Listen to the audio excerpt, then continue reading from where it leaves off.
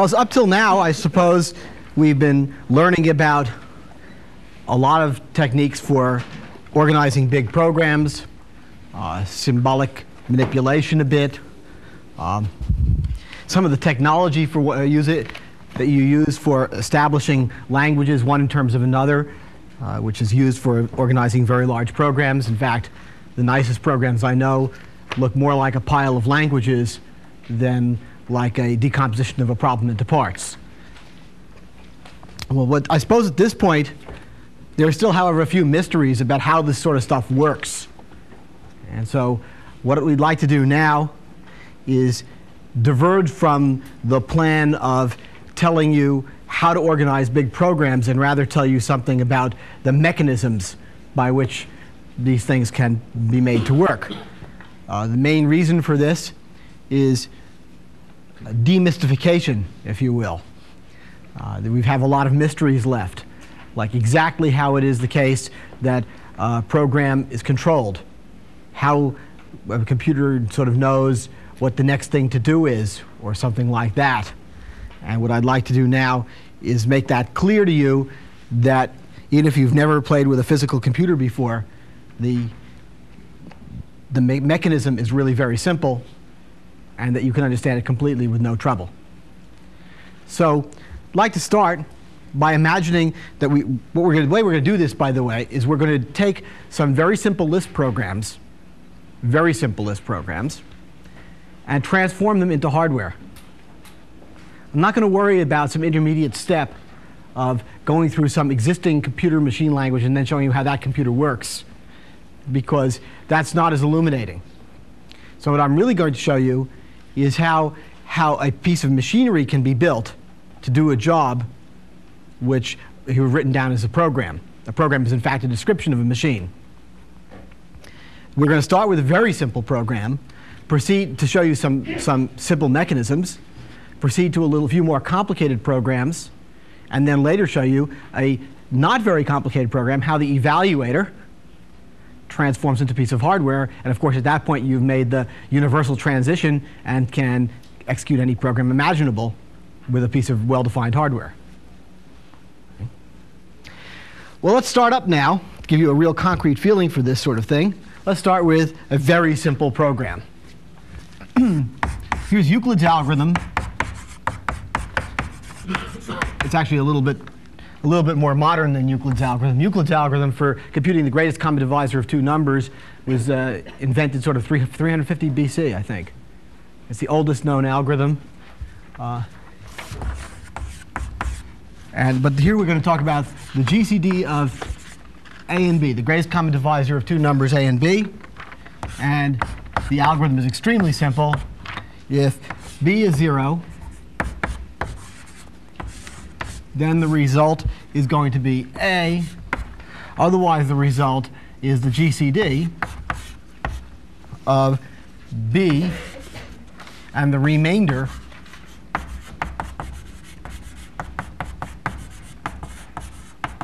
when A is divided by B.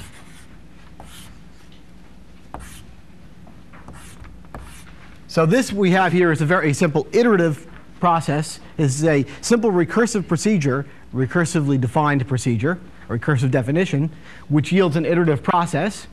And the way it works is that at every step, it determines whether B was 0. And if B is 0, we got the answer in A. Otherwise, we make another step where A is the old B and B is the remainder of the old A divided by the old B. Very simple. Now this, I've already told you some of the mechanism by just saying it that way. I said it in time. I said there are certain steps. And that, in fact, one of the things you can see here is that one of the reasons why this is iterative is nothing is needed of the last step to get the answer. All of the information that's needed to run this algorithm is in A and B. It has two well-defined state variables. so I'm going to define a machine for you that can compute GCDs. Now let's see, every computer that's ever been made that's a single process computer, as opposed to a multiprocessor of some sort, is made according to the same plan. the plan is the computer has two parts a part called the data paths and a part called the controller. The data paths correspond to a calculator that you might have. It contains certain registers that remember things, and you've all used calculators, and has some buttons on it and some lights. Okay? And so by pushing the various buttons, you can cause operations to happen inside there among the registers, and some of the results to be displayed. That's completely mechanical. You could imagine that that box has no intelligence in it.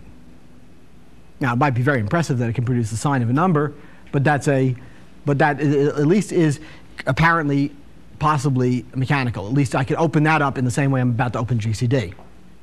So this may have a whole computer inside of it, but that's not interesting. Addition is certainly simple. That can be done without any further mechanism. Now also, also if we were to look at the other half, the controller, that's a part that's dumb too. It pushes the buttons. It pushes them according to a sequence which is written down on a piece of paper and observes the lights. And every so often it comes to a, uh, comes to a place in a sequence that says, if light A is on, do this sequence, other do the, otherwise do that sequence. And thereby there's no, there's no complexity there either. But let's just draw that and see what we feel about that. so for computing GCDs, what I want you to think about is that there are these registers a register is a place where I store a number in this case. And this one's called A. Hmm? And then there's another one for storing B. Now we have to see what things we can do with these registers. And they're not entirely obvious what you can do with them. But we have to see what things we need to do with them. We're looking at the problem we're trying to solve. One of the important things for designing a computer, which I think most designers don't, don't do, is you study the problem you want to solve. And then use what you learn from studying the problem you want to solve to put in the mechanisms needed to solve it in the computer you're building. No more and no less. Now, it may be that the problem you're trying to solve is everybody's problem, in which case you have to build in a universal interpreter of some language. But you shouldn't put any more in than required to build the universal interpreter of some language. We'll worry about that in a second. Okay, going back to here. Let's see, what do we have to be able to do? Well, somehow we have to be able to get B into A. We have to be able to get the value, val value of B into the value of A.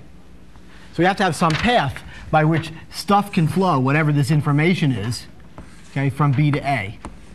I'm going to draw that with an, by an arrow saying that it is possible to move the contents of B into A, replacing the value of A. And there's a little button here which you push, which allows that to happen. That's what little x is here.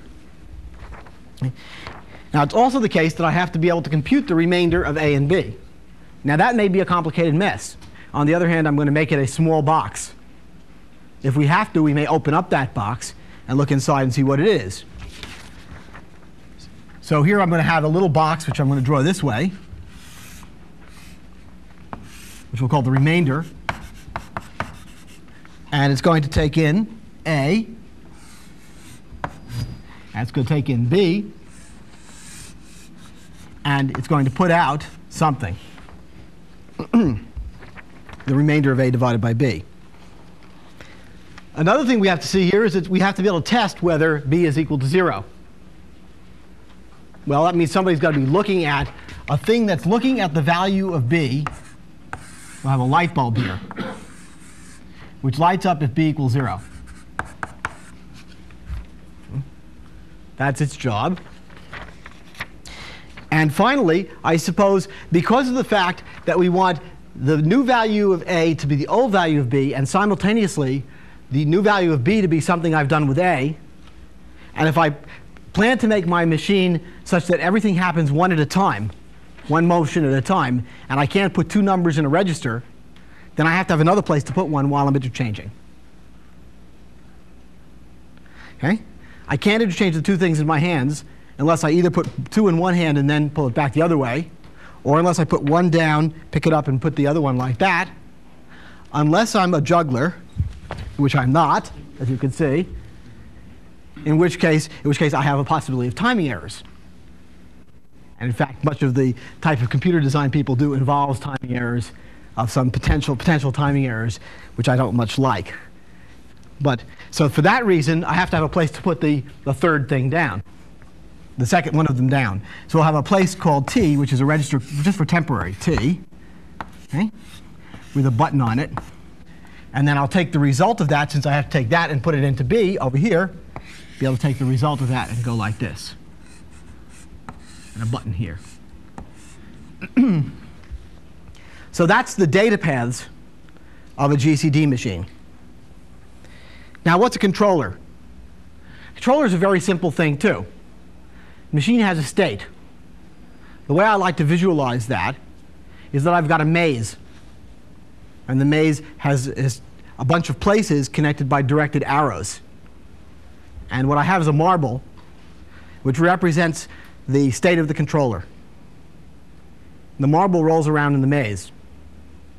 Of course, if I, this, this analogy breaks down for energy reasons, I sometimes have to pump that marble up to the top because it's going to otherwise be a perpetual motion machine. But not worrying about that, okay, this is, not a, this is not a physical analogy. This marble rolls around, and every time it rolls around certain bumpers, like in a pinball machine, it pushes one of these buttons. Hmm? And every so often, it comes to a place which is a division where it has to make a choice, and there's a flap which is controlled by this.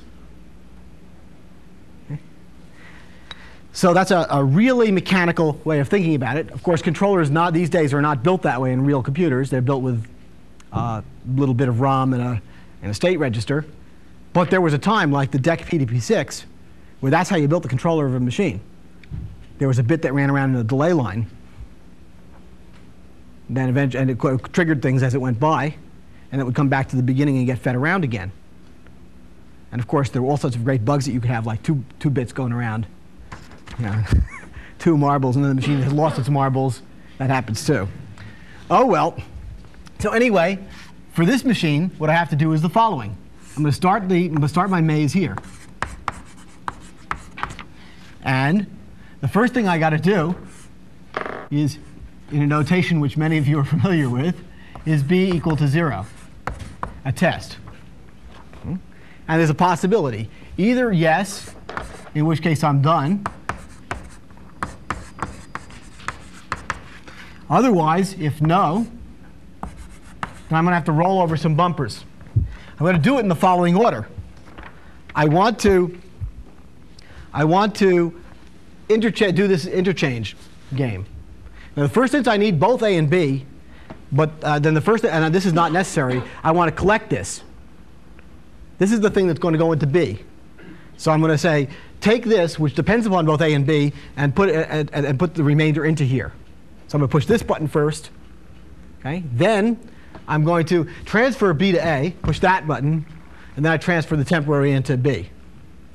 Push that button. So, a very sequential machine. Very inefficient, but that's fine right now. We're going to name the buttons. T gets remainder. A gets B and B gets T. And then I'm going to go around here and go back to start.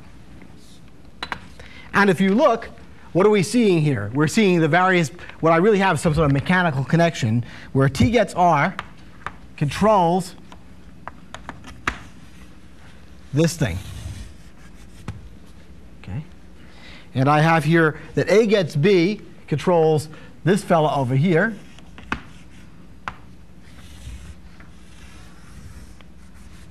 And this fellow over here, boy, that's absolutely reverse. It's pessimal, the inverse of optimal. Every line had to cross every other line the way I drew it. I suppose this goes here. B gets T. Now let's, I'd like to run this machine, but before I run the machine, I want to write down a description of this controller, just so you can see that these things, of course, as usual, can be written down in some nice language, so that we don't have to always draw these diagrams. One of the problems with diagrams is they take up a lot of space, and for a machine this small, it takes two blackboards. For a machine that's the evaluator machine, I have trouble putting it in this room, even though it isn't very big. So I'm going to make a little language for this. It's just a description of that. Say define a machine we'll call GCD. Of course, once we have something like this, we have a simulator for it. And the reason why we want to build a language of this form is because all of a sudden we can manipulate these expressions that I'm writing down. And then, of course, I can write things that can algebraically manipulate these things, simulate them, all that sort of uh, things I might want to do. Perhaps transform them into layout. Who knows? Once I have a, uh, a nice representation of registers, it has certain registers, which we're going to call A, B, and T. And there's a controller. Actually, a better language, which would be more explicit, which would, would be one which named every button also and said what it did. Like this button causes the contents of T to move to the contents of B. But I don't want to do that because it's actually harder to read to do that. It takes up more space. So I'm going to have that in the instructions written in the controller. Okay, it's going to be implicit what the operations are. Okay, they can be deduced by reading these and collecting together all the different things that can be done. Like we look at, say, say, well, let's, let's look at these things are. There's a little loop that we go around, which says branch. This is the representation of the little flap that decides which way you go here. If 0, okay, fetch of B, the contents of B. If the contents of B is 0, then go to a place called done. Now, one thing you're seeing here, this looks very much like a traditional computer language. And what you're seeing here is things like labels that represent places in a sequence written down as a sequence. The reason why they're needed is because over here, I've written something with loops. But if I'm writing English text or something like that, it's hard to refer to a place. I don't have arrows. Arrows are, arrows are represented by giving names to the places where the arrows terminate and then referring to them by those names. Now, this is just an encoding. There's nothing magical about things like that. Next thing we're going to do is we're going to say, how do we, how do, we do T gets R? Oh, that's easy enough. So assign we assign to t the remainder. Assign is, a, is the name of the button. Okay, that's the button pusher. Assign to t the remainder, and here's the representation of the operation.